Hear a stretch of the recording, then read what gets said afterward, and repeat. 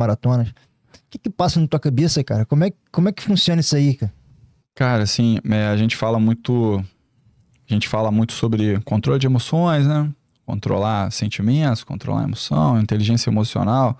Então a gente vê muitos conceitos vagos hoje aí e não consegue entender, né? Vamos lá, vamos falar só sobre corrida e fica mais fácil, pra, né?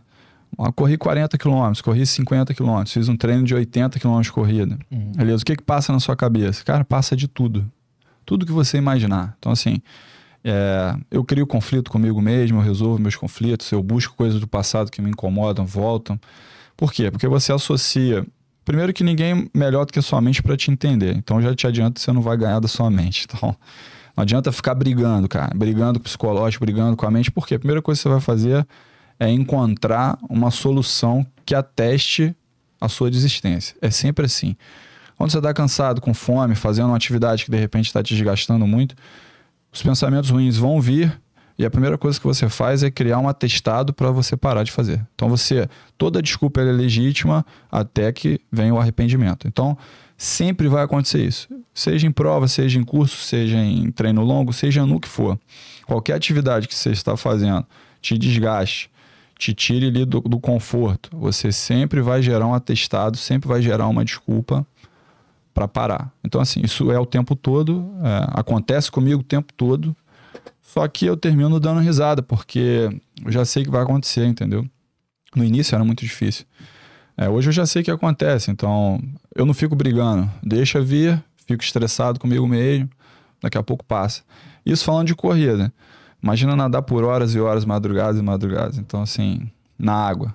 A corrida você para, anda, come na água. Se eu parar, eu afundo, boia, bebo água. Então, assim, e aí? Olhando mesmo o azulejo. Então, assim, é mais difícil ainda. Então, assim, é, são fases que você tem que ir desenvolvendo, construindo. Mas eu acho possível, porque se eu faço, qualquer um faz, cara. Isso aí eu te garanto. É, é verdade. Não, qualquer um não, porque a gente tem que estudar. Ou se tiver algum cientista aí assistindo esse episódio, quiser uma cobaia para estudar. eu fico pensando na questão de regeneração muscular. Que aí eu, eu, é outro ponto, né? Por exemplo, como é que funciona, cara? Porque assim, se eu correr, sei lá, eu não sou acostumado a correr mais que 10 quilômetros, né? Uhum. Não, não tenho esse costume de, de fazer longas distâncias. Mas se eu correr, por exemplo, uma maratona, eu acredito que no outro dia eu vou estar totalmente desgastado, né? Vai. Como é que funciona essa regeneração muscular? Como você é, percebe o seu corpo para aguentar tantas cargas assim? O que, o que, você faz de diferente? Vamos lá. Primeira coisa é alimentação. É, a gente até conversou mais cedo, né? Tem uma base para tudo na vida que é tu ter teu corpo funcional. Né? Depois a gente fala isso melhor. Como que eu tenho isso? Independente de distância, independente de. Ah, como você está falando de recuperação muscular. Ok, volta. Se você tem uma alimentação minimamente razoável, se você pratica atividade física minimamente de uma forma constante, se você faz um fortalecimento, malha, se alonga, ou seja, se eu cuido do meu corpo, com certeza eu vou conseguir fazer atividades maiores e ter uma recuperação mais rápida. Uhum. Agora, se eu corro três vezes no dia, não, três vezes no dia não. três vezes na semana. Se eu corro três vezes na semana, vou ali, saio frio, não aqueço, não alongo, não faço nada, faço a minha corridinha, também não desaqueço, também não alongo, também não faço nada. Chego em casa com um monte de porcaria. É, enfim, me alimento mal, faço tenho um, um ritmo de vida, um padrão de vida é, não muito saudável. Aí passo um dia, descansei, no outro dia vou fazer de novo. Você sempre vai estar com dor. Então, assim, é um caminho sem volta. Se você entra no esporte, quer performar, primeiro que o seu ciclo de amizade já vai mudar. Você não consegue mais fazer as mesmas coisas que você fazia antes. E o que, que tem a ver isso com recuperação muscular? Tudo. Se eu me alimento melhor, se eu me alongo, se eu cuido do meu corpo, no outro dia eu estou melhor. O que, que eu faço? Não come... De novo, não começou de um dia para o outro, não foi do dia para a noite. As distâncias pequenas começaram a doer, tudo doía e tal. E aí eu fui descobrindo que eu precisava mudar de tudo, mudar o ciclo de pessoas, ambiente. Por quê? Precisava come começar a me conectar com pessoas que se alimentam melhor, que dormem cedo, que têm como prática de vida se alongar. Não é a prática de vida de ninguém ficar se alongando. Você fala com a pessoa, não, mas eu muito corrido, você precisa de 10 minutos para você se alongar. O básico. Então, assim, faz isso todo dia? Não. Então não adianta. Então, assim, isso tudo vai afetar. É, graças a Deus, hoje eu faço meus treinos eu não sinto dor muscular, entendeu? Mas é uma construção. Então, acho que tudo começa pela alimentação, paciência e constância. Acho que é isso. Pô, bacana, bacana. E, e na alimentação, cara, é tipo assim, você faz atividades altamente intensivas, né, cara? Como é que você faz para você se alimentar dentro do, do que é esperado? Uhum. Vamos lá, tu é pô, um atleta de fisiculturismo uhum. aí, né, tal, sabe disso. Uh, que, que a gente foca muito, né? Se for falar com qualquer pessoa de esporte, de alimentação, a pessoa vai falar o básico de tudo, né? Hidratar proteína e carboidrato, certo? Uhum. Beleza. Ninguém fala de gordura, ninguém fala que hidratar é eletrólito, não é só água. Ninguém fala isso pra você. Ninguém fala em que momento você tem que comer mais proteína, menos proteína. Ninguém fala que, dependendo da proteína, tem gordura, tem carboidrato. Ninguém fala isso. Então, assim, uh, eu não sabia isso. Então, eu imaginava, eu preciso comer tantas gramas de carboidrato, tantas gramas de proteína e beber tantos litros de água vivia desidratado, às vezes inchado. Eu não entendia isso. Então, onde é que está isso? Cara, procurar um profissional de educação, de, de nutrição é, competente, especializado na tua área. É, dicas de quem, de quem vive isso, mas é sempre bom procurar o profissional. E a parte de endurance, né? O pessoal pensa muito em carboidrato. E aí vamos lá, é, coisa que ninguém me disse, mas fica aí a reflexão. Se eu estou fazendo um esporte de endurance, de longa duração e baixa intensidade, que via metabólica que eu estou usando? Pô, eu estou usando. Estou em Z1, estou em Z2 no máximo. Ou seja, eu estou oxidando gordura, estou com a frequência cardíaca baixa.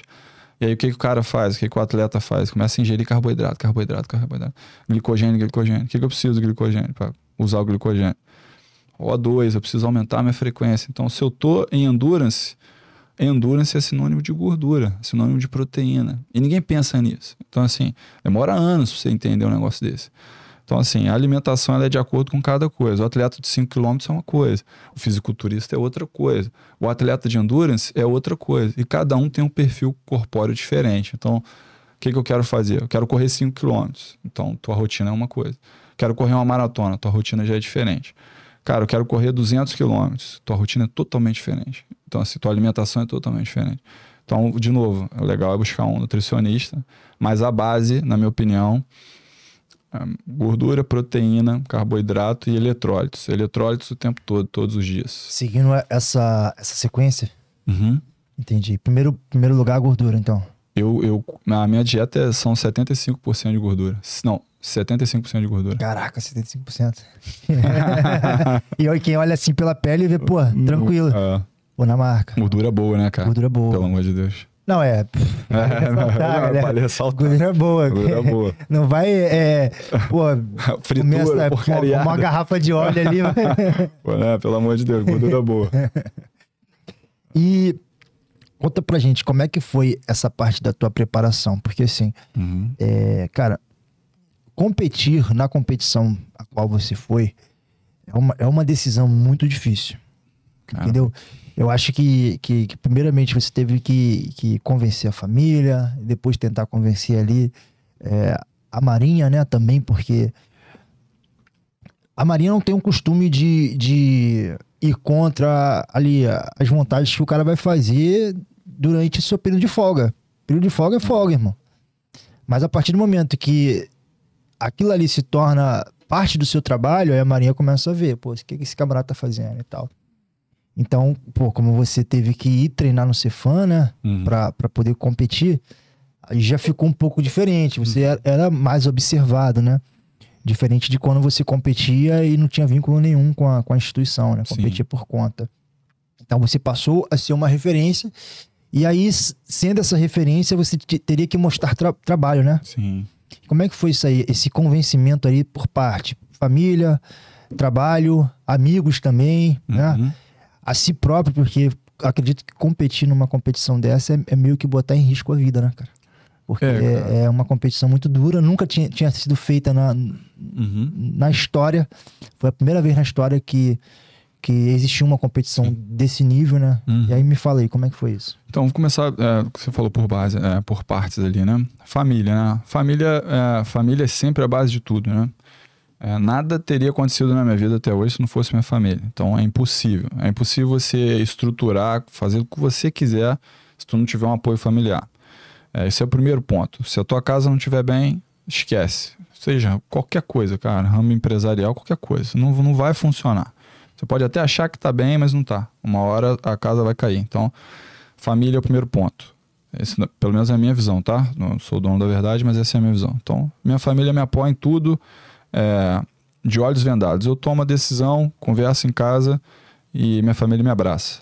Claro que sente, por exemplo, nesse um ano praticamente fora, eles pagaram o preço disso, mas eu, não, é um, não é o Betão, não sou eu que estou indo fazer alguma coisa, é a minha família que está indo comigo. Então eu deixo isso bem claro que não sou eu que estou lá.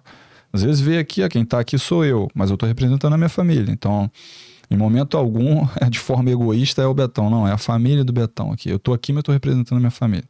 Então, a minha família me apoia 100% e desde o início, né? Desde as primeiras competições até hoje. E hoje mais ainda porque os níveis vão subindo, né? A gente chegou num nível desse aí e o apoio tem que ser muito maior, muito mais forte em tudo, né? Até porque eu sou meio focado demais nas coisas e eu não tenho outro assunto em casa, entendeu? Só se falar disso, quero isso o tempo todo, então tem que tomar até cuidado. Então, família é o primeiro ponto. Questão do trabalho, né? A gente vai acessando uh, determinados níveis, né? E com eles uh, vem a responsabilidade, certo? Então você tem que ter responsabilidade. Tem toda a responsabilidade da tua parte profissional dentro da tua área, como na minha. Sou mergulhador, é, sargento da Marinha mergulhador, então eu tenho todas as minhas responsabilidades inerentes a um sargento mergulhador, tudo isso, beleza. Comecei a competir, entrar no nicho de representar a instituição de forma esportiva. Isso é um pouco diferente, né? É, a gente falou das 11 medalhas aqui, né, dos atletas militares.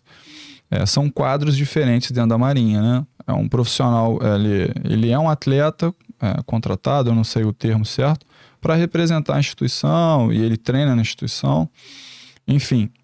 Então ele faz exatamente isso. Hoje, praticamente, eu só treino também. Mas, querendo ou não, eu tenho as minhas responsabilidades como militar. E isso não tem como fugir. Você que está na carreira militar, isso nunca vai acontecer. Você nunca vai deixar de ter sua responsabilidade. E eu nem quero também. Honra minha, minha, minhas responsabilidades. Então, perfeito. Cheguei no Cefam, eu tive a oportunidade, continuo tendo, pelos meus comandantes, comandante direto, comandante do Cefam, né, de poder treinar, usar toda a estrutura do Cefam, usar todo o apoio da instituição para me preparar e representar a instituição. Então, de novo, tem a responsabilidade que não é o Betão que está competindo, o Sargento Roberto, aliás, é o Sargento Roberto competindo, representando a instituição. Como que funcionou para ir para a Itália, né?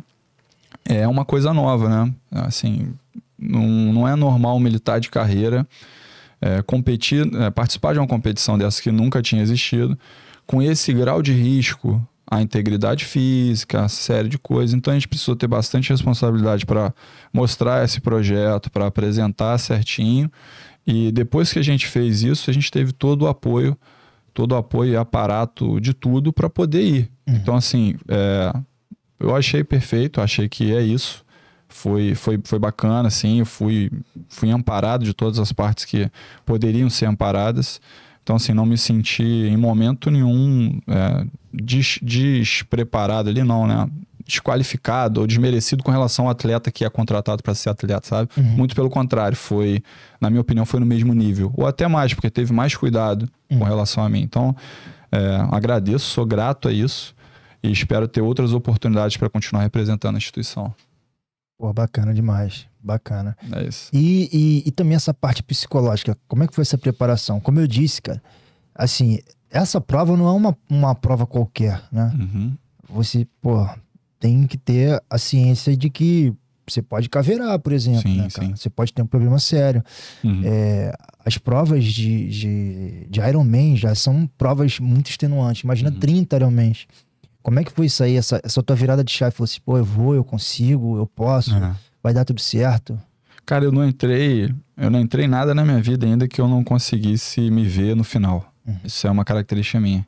É, quando eu iniciei, que a gente recebeu esse convite, quando eu iniciei a minha preparação, eu já conseguiria, eu já conseguia me ver terminando. Então, assim, é uma coisa que é, não sei explicar, mas é muito natural. Eu vejo isso, entendeu? Então, assim, eu me vejo lá, continuo me vendo nas próximas e continuo me vendo em outros objetivos maiores que eu tenho. Sei do risco? Sei. E aí, onde é que você ganha isso? De novo. É, não acordei um dia e resolvi fazer 30 Ironmans no outro. Então, assim, eu venho vivendo isso, eu venho construindo isso há anos. É, a atividade militar de mergulho me construiu também, ou me ajudou a construir essa percepção de gerenciamento de risco, esse conhecimento corporal, sabe? Isso tudo você vai ganhando. E aí, de novo, o militar tem muito disso. Você gerencia risco na tua carreira o tempo todo, nas tuas manobras o tempo todo. Querendo ou não, você está gerenciando risco. Então, assim, você acaba fazendo isso de uma forma muito natural. E aí, onde é que entra é, a parte mental disso? Gerenciar o risco, tomar decisões corretas, é, sempre pensando no teu bem-estar, né? Por quê? A gente não pode ser, dar uma de maluco, de caramba, eu vou me quebrar, mas eu vou. O mundo não acaba depois daquela linha. Depois daquela linha é aí que começa o mundo, entendeu? Então, assim, ah, meu objetivo, isso é outro assunto, mas vamos lá. Meu objetivo é cruzar aquela linha, mas o teu objetivo não é o final do caminho, não, sabe? Ali não é a linha de chegada, não acabou a tua vida. O objetivo é só a direção. O objetivo é direção, não é o fim, não é o teto. Então, meu objetivo é cruzar a linha dos 30 Ironmans. Beleza. Dali para frente que começa a minha vida. Então, assim, eu preciso chegar lá bem, melhor do que eu tô agora, porque minha vida começa lá. Uhum. Então, assim, essas viradas, né, essas chaves que você precisa trabalhar muito bem, entendeu? É, Pô, posso fazer um jabazinho? Quem quiser tem uma mentoria do Betão aí também. Pô, já vou me inscrever então, cara. Vem comigo, depois fala com o Pedrão aí. é, tá certo. Vou colocar o link aqui na descrição para todo valeu. mundo conseguir ter acesso.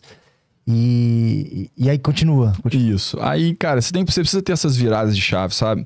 É, de saber se controlar, né, cara? A gente tava falando sobre controle emocional, né? E há uma pergunta, por exemplo, diferença de objetivo e meta, de repente, tu sabe ou não? Não sei. Pois é, cara. O que, que a gente entende, né? Você vai pro pessoal, vendedor de carro, né? Ó, a meta agora, é, até junho, é você vender tantos carros. Beleza? Ok. É, é comum ver isso? Sim ou não? Sim. Muito comum. Beleza. Então tá bom. Janeiro o cara trabalha? Não. Fevereiro o cara trabalha? Muito pouco. A meta é em junho. Olha só. Beleza. Chegou em abril, aí ele começa a se coçar. Aí maio, aí ele se coça. Aí chegou não na meta, ok. Você estabeleceu a meta como teto. Uhum. Cara, meta não é teto. Para mim, meta é piso. Eu entendo meta como piso. Qual é a minha meta? Fazer 30 Ironmans. Não quer dizer que aquilo ali é o teto, não, cara. Eu já me vejo lá. Então, assim, quando você começa a mudar essas percepções, meta e objetivo. O objetivo é direção. Eu vou passar pelos 30, eu tenho coisas maiores no futuro. Qual é a meta? Passar naquela linha. Lembra que eu falei que depois da linha começa a minha vida? Então, porra, ali para mim é o piso, entendeu? Uhum. Então, assim, quando você começa a mudar essas coisas, você começa a querer sempre mais. E é um ciclo infinito que você vai crescendo, crescendo, crescendo, crescendo. E só que você não percebe. E aí você vai acessando outros níveis. Daqui a pouco você vai acessar outros níveis muito maiores aí, Deus abençoe, que o programa vai crescer ainda mais do que já está. Então, assim, de repente você não consegue enxergar hoje, mas se você botar como meta, eu quero ter, sei lá, um milhão de visualizações no YouTube, tu para. Você quer isso? Você não quer isso, cara. Entendi. Tá entendendo? Entendi. Ah, não. Pô, é difícil falar isso, né, cara? Mas assim, a minha meta na carreira é atingir tal graduação ou conseguir tal coisa. A partir dali você não faz mais nada. E a gente vê isso. Uhum. Entendeu? Então, assim, é, eu vejo de uma forma diferente. É, não sei se eu estou certo ou errado, mas eu, eu acredito que eu esteja certo e espero que as pessoas vejam isso de uma forma diferente também. Mentalidade, né? O que, que você faz? Você me perguntou como que eu faço para manter minha mente blindada durante os treinos, durante a competição. Eu falei que não tem como controlar os pensamentos ruins, não é isso? Beleza. Mentalidade. Você consegue controlar teu sentimento? Tu tá feliz agora? Tá fazendo o que gosta? Tô, tô feliz. Então fica puta aí agora. Difícil. não contigo aqui, pô. Não Entendeu? Com a feira dessa. Então, cara, é difícil, cara. Você não controla sentimento, cara. Você só gerencia teus sentimentos. Isso acontece no Endurance o tempo todo, cara. Tô feliz, tô triste, tô feliz, tô triste. Não adianta brigar. Não, cara, tô triste pra caramba. Pô, tá errado. Cara, deixa passar, cara. É aquele momento. Só controla. E a tua emoção ali? Ah, vou desistir, vou fazer. Canaliza isso, meu irmão. Pega isso, cara, peraí, calma, deixa passar. E começa a rir, cara. Tu vai chegar no ponto, tu começa a rir. Tipo assim, cara, tô puto agora. Daqui a meia hora eu tô sorrindo. Quem não passou por isso vai passar, cara. Tá puto agora, tá feliz daqui a pouco. Tá puto agora, tá feliz daqui a pouco. Então, assim, relaxa, deixa as coisas passarem, aproveita o momento, canaliza essa energia e vai vivendo. E aí você passa um dia, passa dois, passa 30, passa 100, entendeu? E vai entendi, embora. Entendi. Cara, eu, eu super concordo contigo. Eu nunca tinha pensado nesse ponto de vista, né? Em relação a metas e objetivos. Hum. E aí, depois que tu falou, agora tudo fez sentido, porque assim, é, muitas pessoas, quando estabelecem metas, principalmente, vamos botar no, no, na área comercial, né? Uhum. Vamos botar ali o, o cara que é vendedor, né? Como foi o exemplo que você deu, né? O vendedor, ele não, ele não tá muito querendo saber se a empresa vai prosperar ou não. Isso. Ele quer pegar o dinheiro dele e botar no bolso e acabou. Exatamente. Né? Ele não tem essa, essa sensação de pertencimento. Pelo menos na maioria das empresas. Uhum. E aí ele pode acabar usando essa meta como um mecanismo para ficar parado. Caraca, é Né? isso. É isso. O cara, o que você falou foi, É o cara ele, ele pega os primeiros meses e fala assim, pô, Isso. dá tempo, dá tempo, É uma desculpa legítima pra não fazer nada. dá tempo. Ele criou a leg- desculpa legítima. Você criou pra ele. Você botou Pois é, o próprio, o próprio empresário, o próprio líder de equipe acaba limitando os seus funcionários. Caraca, Ah, imagina que essa empresa é a tua vida. Teu corpo, tua vida, tua família. E aí? Ah, não, vou criar uma meta. Tu limitou tua vida, limitou tua família. na vida. Talvez, talvez, porra, esteja vendo aí, não esteja, né, tendo esse filho, mas sei lá, não Aham. sei. Não, muito importante. Entendeu? Muito importante. E assim, é, eu, eu trago isso pro, pro mundo do esporte, né? Eu, eu competi muito é, na área de fisiculturismo, né? Uhum. musculação e tal. E eu sempre tive assim, é, ah, cara, eu quero ganhar tal competição, eu quero vencer